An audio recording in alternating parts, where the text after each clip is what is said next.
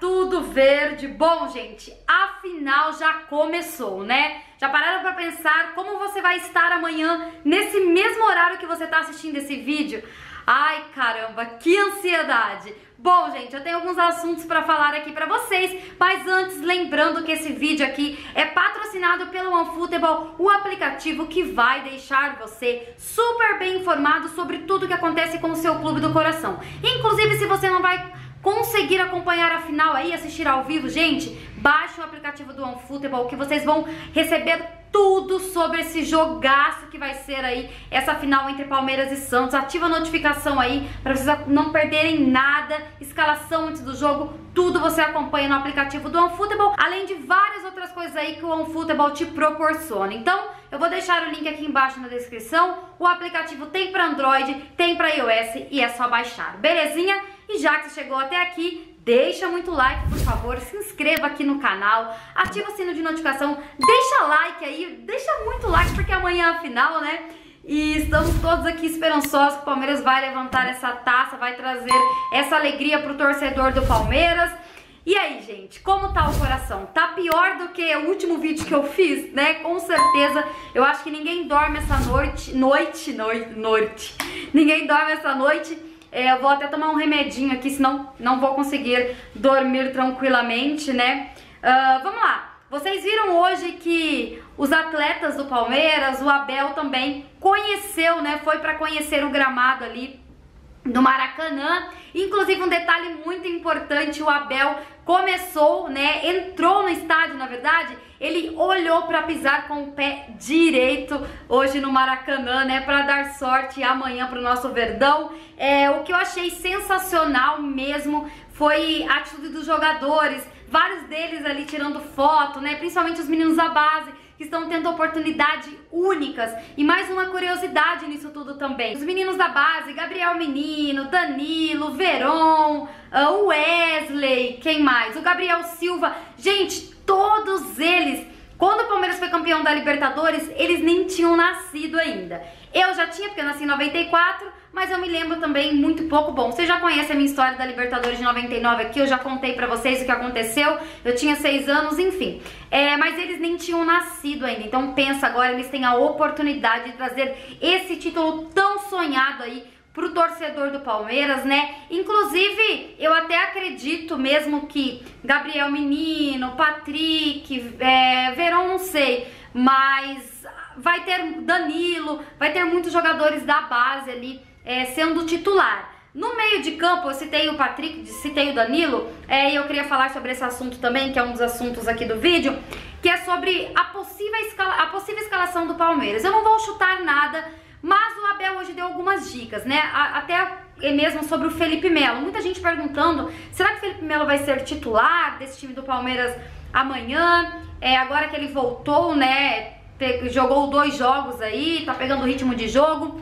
Ele deixou no ar o Felipe Melo pode ajudar, pode ser titular, como também pode não ser titular, né? Acho que vai depender muito aí uh, de como o, o Felipe Melo vai estar. Eu, gente, arrisco dizer que o Felipe Melo, que o Felipe Melo, que o Felipe Melo não entra como titular. Eu arrisco dizer que ele pode colocar o Felipe Melo num segundo tempo, se o Palmeiras tiver ganhando a partida, uh, ah, para dar um fôlego a mais. Não sei, gente. Eu acho que como titular é difícil. Acredito que o meio de campo do Palmeiras ali vai ser o mesmo que ele vinha usando já na Libertadores. Uh, tem Zé Rafael também à disposição, que vinha fazendo função de segundo volante. O Abel tem o time do Palmeiras completo ali na mão mesmo para usar quem ele quiser, né? Para fazer variações. Inclusive, espero que não chegue uma prorrogação, mas se chegar uma prorrogação, o bom do Palmeiras é o elenco. A imprensa hoje, eu assisti alguns programas esportivos, uh, colocou o Santos como favorito. Eu vi,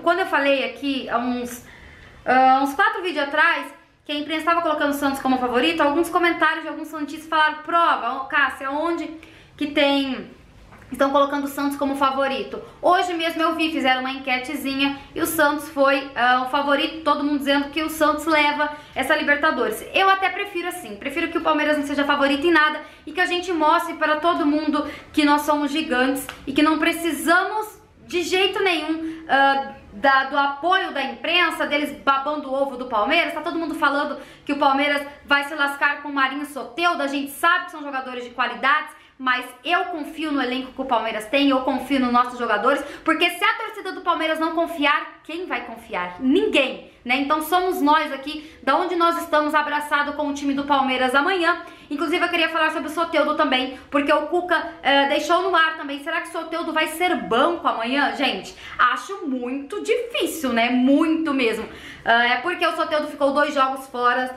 dois jogos fora e ele teve que improvisar, até o Braga jogou, enfim. Ele teve que fazer alguns, algum, alguns improvisos, então ele disse que vai pensar no que ele vai fazer. Se ele joga com quatro atacantes, enfim.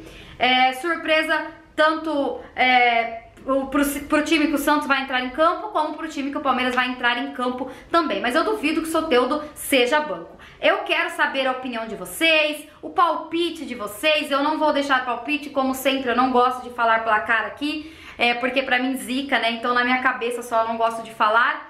É, mas eu estou confiante que amanhã, esse horário aqui, provavelmente eu esteja rouca, gritando de felicidade, comemorando muito com vocês, gente. Espero do fundo do coração. Eu vou gravar um react amanhã, eu só não prometo o horário que vai sair uh, no domingo, tá, gente? Porque uh, eu vou fazer uma viagem no domingo, também é meu aniversário, vocês sabem. Então vai estar tá meio difícil porque eu que faço a edição. Mas o que der pra fazer eu vou fazer. Pós-jogo vai ter o normal. Ganhando essa Libertadores, não ganhando, mas bate na madeira. Vamos ganhar se Deus quiser. É, vai ter o pós-jogo aqui, a comemoração, tá bom? E é isso, gente. Eu queria mesmo atualizar vocês, é, falar um pouquinho aí pra gente uh, dar uma respirada, né? É, tirar um pouquinho o foco de amanhã, mentira, que isso aí é quase impossível. Vocês estão assistindo meu vídeo e já estão pensando no jogo de amanhã que eu sei, porque eu estou gravando, falando com vocês aqui na frente da câmera. E estou pensando como vai ser amanhã, se vai ser um jogo tranquilo, se o Palmeiras já vai matar o jogo no primeiro tempo, se o Palmeiras vai deixar para matar o jogo no final, se a gente vai empatar e vai pros pênaltis. Ai, eu não quero nem pensar em pênalti, gente. Eu não tenho psicológico, coração, nada pra isso. É, mas eu, então, como eu falei, eu quero saber a opinião de vocês, o placar. Deixa aqui nos comentários. A gente se vê amanhã. Tenha uma boa noite, toma um calmantezinho aí, um chazinho, né, para acalmar o, o coração de vocês. Gente, que, que vença o melhor, mas que o melhor seja o Palmeiras, né? Que eles coloquem, como eu falei no vídeo de ontem de ontem, o coração na ponta da chuteira. Vamos trazer, vamos trazer essa Libertadores aí. Faz 20 anos que a gente não levanta esse caneco e o torcedor do Palmeiras tá que não se aguenta, né, gente? Então precisamos desse momento de paz, até por tanto de turbulências, tanto de coisas ruins que a gente passou aí. Ah, eu sei que vai ter gente comentando aqui. Cássia, você não vai falar nada sobre o Hulk, o Hulk agora é jogador do Atlético. Nada, nada vai me tirar o foco dessa final. Quero saber se o Hulk foi pro Atlético, foi pra PQP que ele foi, sabe? É, eu vou me importar com os jogadores do Palmeiras. Era um sonho do canal, já tinha pedido ele aqui. Uh, a gente falou que possivelmente ele assinaria com o Palmeiras, mas provavelmente demorou essa negociação. O Palmeiras não quis pagar o que o Hulk queria.